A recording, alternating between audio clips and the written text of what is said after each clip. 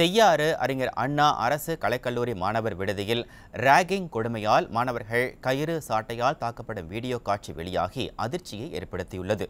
திருவண்ணாமலை மாவட்டம் செய்யாறு அறிஞர் அண்ணா அரசு கலைக்கல்லூரியில் மூன்றாயிரத்திற்கும் மேற்பட்ட மாணவ மாணவிகள் படித்து வருகின்றனர்.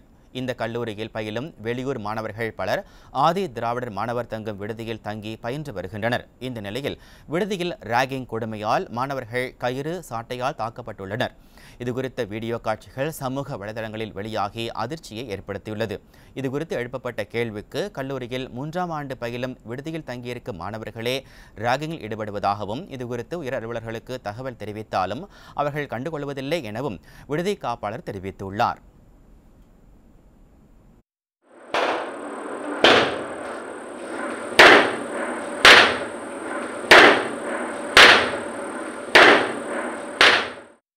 கேரியர் பையன் தான் எல்லாமே நிர்வாகம்.